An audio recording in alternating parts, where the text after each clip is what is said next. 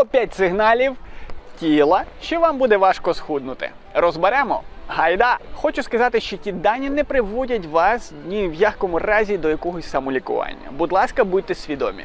І першим я б на вашому місці звернув все-таки на колір сечі. Якщо ж вона біла, ви п'єте забагато води. Якщо ж вона така жовтувата сеча, це можливо обезводнення або багато кетонів. Коли ви бачите мутну сечу, це може бути ознакою каменів в нирках. Ну і звісно, коли оранжево, це вже камені в жовчному міхорі. Будь ласка, зверніть увагу на ці деталі, тому що багато моментів, якраз через е, вивідні канали, коли ви бачите якісь порушення, може говорити нам про те, що процес схуднення буде відбуватись не так, як у тих людей, в кого такого немає порушення. Номер два важкі походи в туалет. Не смішно, а можливо і смішно, але допереду часу. Похід в туалет важкий, значить, у вас є проблеми з мікробіотою, проблеми з засвоєнням певних мікро-макроелементів. Погано працює жовч, можливо, за висока кислотність у вашому шлунку.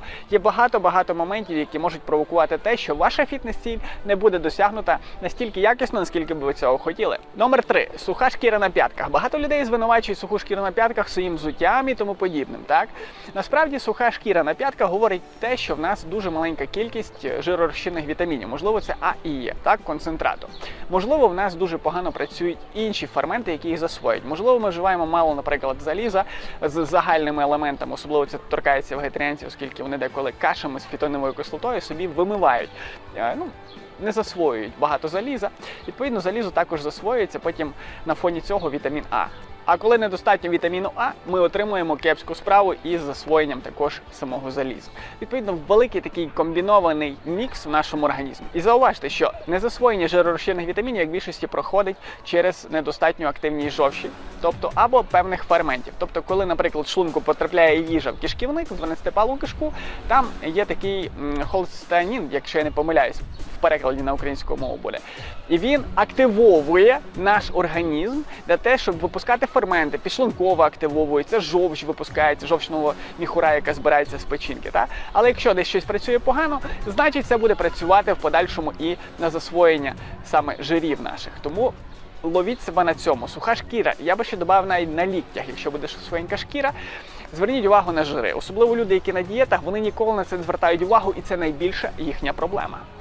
Номер 4. смердючий піт. Багато людей з ожирінням е, вони справді мають такий дуже смердючий піт. І це не говорить те, що людина е, погано миється. Це навпаки говорить те, що печінка не може справитися. А якщо печінка не може справитись, значить іншими процесами, в тому числі процесом ліполізом, який буде відбуватися в організмі, в якому ви зацікавлені, тобто, щоб спалити ваш жирок, щоб тригліцериди в даному випадку максимально використовувалися, формувалися кетотіла, ви забезпечували організм кетонами. Тоді потрібно, щоб печінка працювала ідеально. Але якщо вона не працює ідеально, ви будете втрачати ваше повноцінне жироспалення.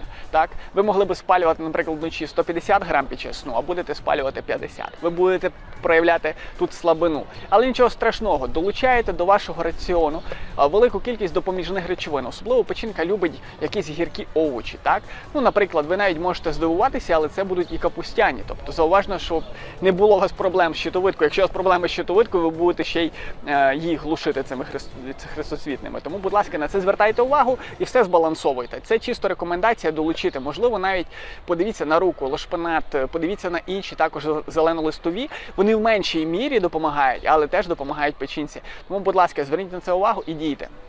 Номер 5. Просте пробудження 4-5 ранку. От просто так взяв і ні з того, ні всього прокинувся 5 ранку. Як більшості е, лікарів, які роблять, наприклад, якусь аналітику, в подальшому бачать резистентність клітин в таких е, пацієнтів. Так, ну резистентність клітин це коли, наприклад, особливо це інсулінорезистентність. Коли багато цукру в крові, так інсулін він виходить з підшлункової залози для того, щоб забезпечити наш організм максимально енергією, а клітини закриті. Ну кажуть, ну надоїв нам цей цукор, не хочемо, у нас дуже багато.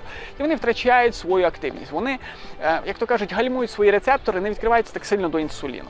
І виходить так, що інсулін собі в холосту ходить, не може знайти, знаєте, е, місце, де приткнутися. От в такому випадку виходить так, що коли нічний цукор, наприклад, задовільняє наш організм, а саме піднімається високо, але клітини його не сприймають, починається такий стрес, міні-стрес. Вилітає кортизол для того, щоб вирішити проблеми, а це гормон наднирників, кортикоїдний гормон. І норадреналін адреналін може трішки теж підніматися для того, щоб розрулити ситуацію з тою глюкозою, яка в нас піднялася, а її ніхто не використовує. І в такому випадку ви можете пробуджуватись просто так у цей проміжок часу. Як правило, це м, можуть мати переддіабетики, люди, які е, споживають велику кількість їжі на. м, 23-12 годину ночі приблизно припадає. Тому, будь ласка, зверніть на це увагу. Якщо прокидаєтесь без бажання піти в туалет чи щось зробити, значить ви потрапили в цю пастку інсулінової резистентність. Якби поміряти цей аналіз теж вам не вдасться, тому що виявити інсулінорезистентність насправді дуже важко. Виміряти діабет першого другого типу, та люди можуть це зробити. Преддіабет можуть зробити, а інсулінорезистентність насправді дуже важко. Вже коли крайня стадія, коли погано функціонують, наприклад, певні органи, які утилізовують глюкозу, так тоді вже йде проблематичне підняття, і люди втрачають свою надію. Бо їм кажуть діагноз преддіабет. Ось така штука може бути. Ось і таких 5 пунктів. Якщо ви їх зараз знаєте, ви можете зробити все можливе, щоб підтримати удосконалення своєї форми. Зробіть все просто. Дійте зараз, використовуйте, обходьте ці моменти. Вони вам перешкоджають. І також не забудьте поділитися цим відео з тими людьми, які потребують. Тому що люди, які потребують зараз цю інформацію, можливо, вони якраз от останнім моментом схватяться за це відео, і ви їм допоможете трансформувати тіло. Ви можете змінювати тіла людей, допомагати їм. На славу Богу. Дякую, що ви переглянули. Якщо сподобалось відео, ставте лайк, діліться з друзями, підписуйтесь на канал. Па-па!